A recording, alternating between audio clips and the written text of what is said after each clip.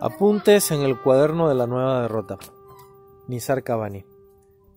Amigos, os doy el pésame por la vieja lengua, por los viejos libros. Os doy el pésame por nuestras palabras agujereadas como zapatos viejos, por los términos sucios, el insulto y la sátira. Hoy os doy mi más sincero pésame por el fin de la idea que llevó a la derrota. Los poemas son sal en nuestra boca, y ahí salen las trenzas de las mujeres en la noche, en las cortinas, en los asientos. Saladas ante nosotros están las cosas. Oh, mi triste país. En un instante solo me has mudado de poeta del amor y la nostalgia en poeta del puñal. Porque lo que sentimos es más grande que todos los papeles y hemos de avergonzarnos de nuestros versos. No es raro que perdiéramos la guerra, porque entramos en ella con la innata retórica que posee el oriental, con ese quijotismo que no mata una mosca, porque entramos en ella con la lógica del rabel y del tambor. El kit de nuestro drama estriba en que gritamos más de lo que permiten nuestras voces, en que nuestras espadas miden más que nosotros. La cuestión se resume en esta frase, en que nos hemos puesto una corteza culta sobre un alma ignorante. Con la flauta y el sistro no llega la victoria. Y la improvisación nos ha costado otras 50.000 tiendas de campaña. No maldigáis al cielo, si os dejó de la mano. Ni maldigáis tampoco a las circunstancias. Dios le da la victoria a quien la desea, dice el Corán, y no es herrero a sueldo para hacernos esparas. Me duele a la mañana oír las noticias. Me duele oír ladrar. No entraron los judíos por las fronteras, sino que como hormigas, por nuestros propios vicios, se infiltraron. Cinco mil años ya, y aún seguimos dentro de la cueva con nuestras largas barbas y con nuestras monedas ignoradas, con esos ojos puertos de las moscas. Haced por romper las puertas, mis amigos, lavaos las ideas y las ropas.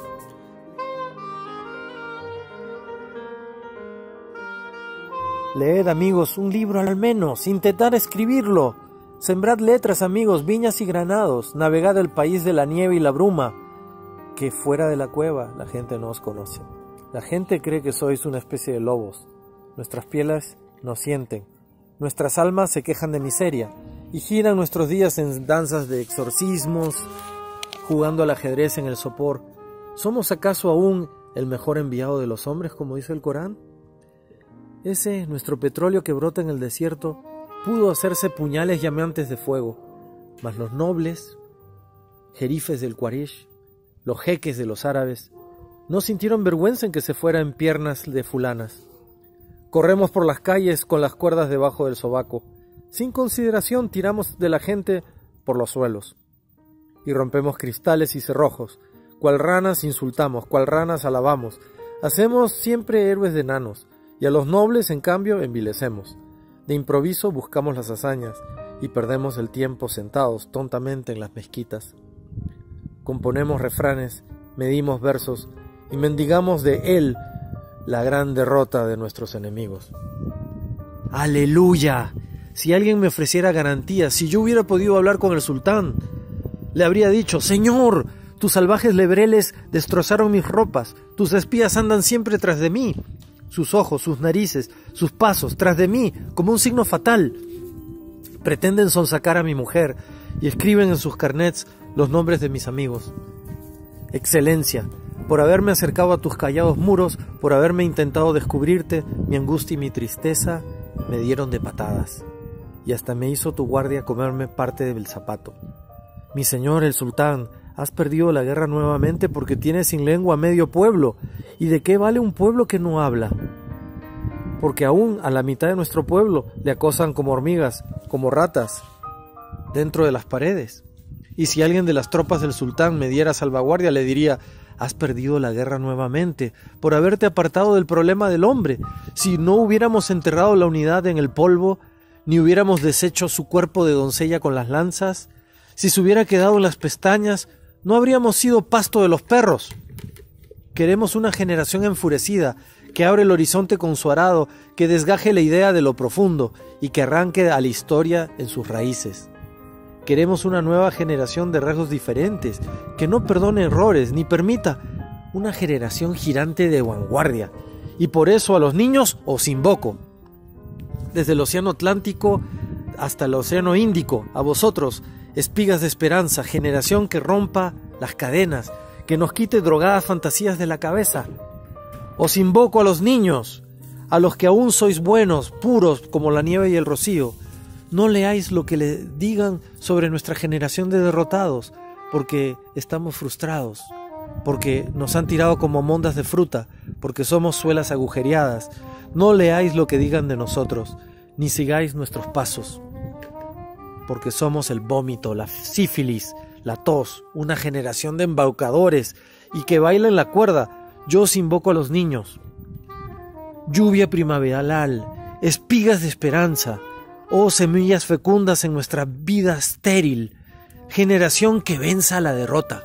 Me gusta este poema no porque sea algo bonito, sino porque habla de algo de que me conecto mucho eh, siento que a pesar de que el contexto del poema eh, data de los años 60, eh, la famosa guerra de los seis días donde los judíos ocuparon muchísimos territorios árabes de diferentes países árabes que estaban en guerra y que querían destrozar a los israelitas, no es la típica historia de unos contra otros.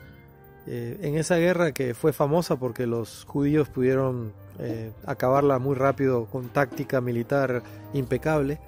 Eh, surge este poema interesantísimo para mí porque eh, en lugar de centrarse en lo antimilitar o contra la violencia, ¿no? que tiene también frases sobre eso, tiene un aspecto que, me conecta mucho, que es el aspecto de la invocación de los niños me doy cuenta que cuando leí el poema me comí un verso que me parece sumamente importante, que está eh, al final de, la estrofa, que dice, no aceptéis jamás nuestras ideas. A vosotros, espigas de esperanza, generación que rompa las cadenas, que nos quite drogas, drogadas fantasías de la cabeza. Os invoco a los niños, a los que aún sois buenos, puros como la nieve y el rocío, no leáis lo que digan sobre nuestra generación de derrotados, porque estamos frustrados, porque nos han tirado como mondas de fruta, porque somos como suelas agujereadas. no leáis lo que digan de nosotros, ni sigáis nuestros pasos, no aceptéis jamás nuestras ideas, porque somos el vómito, la sífilis, la tos, una generación de embaucadores y que bailen la cuerda. Yo os invoco a los niños, lluvia primaveral, espigas de esperanza, Oh semillas fecundas en nuestra vida estéril, generación que venza la derrota. Eh, esa última parte del poema me, toca profundamente porque siento que la educación, el momento actual en que estamos viviendo, eh, eh, adoctrina a todo el mundo a meterse en este sueño de posesión, de tener cosas, ¿no? de, de que la vida, el éxito de la vida es el poder y el dinero. Entonces este, me, identifico mucho con este llamado, a pesar de que es otro contexto, yo lo leo eh, y es también una invocación a mis hijos, una invocación a mis estudiantes, una invocación a los futuros estudiantes y, a los y al futuro de los hijos de mis hijos, eh, que no acepten las ideas de la gente que vive privilegiada y, que no aprovecha sus privilegios, sino que más bien se queja una generación en la que nos hacen pensar que las ideas eh, y los ideales de justicia eh, son prístinos y perfectos, cuando en realidad es todo un engaño para, para hacer una hipocresía, ¿no? porque no, no, no, responde a lo que realmente se, da en la realidad y a lo que realmente la gente hace, que es cómplice de un montón de cosas. Eh, entonces me cuestiona porque no me da respuestas, por supuesto, pero me anima a seguir buscando ¿no? Eh, cuál puede ser eh, la tarea de esa nueva generación. No, no puede ser esta tarea de, de remozar o resarcir eh, un sistema que no funciona y que es el único y con esa cantaleta de que bueno es el único sistema que funciona estamos ciegos a, los problemas que, está causando entonces creo que en ese sentido el poema es una invocación a, pensar eh, de una manera más caricativa, más compasiva, más, más solidaria, ¿no? pero a la vez eh, sin comprarse eh, ideas que, son ajenas a sus sueños, ¿no? todo es artificial y también tenemos el tema que probablemente también eh, yo lo veo como una amenaza, ¿no? así como la amenaza militar, la tecnología, porque la tecnología se ha desarrollado como es gracias a la, a la, influencia de la necesidad del poder militar. Entonces somos productos de la tecnología ahora y ese es un tema que también me interesa pensar, ¿no?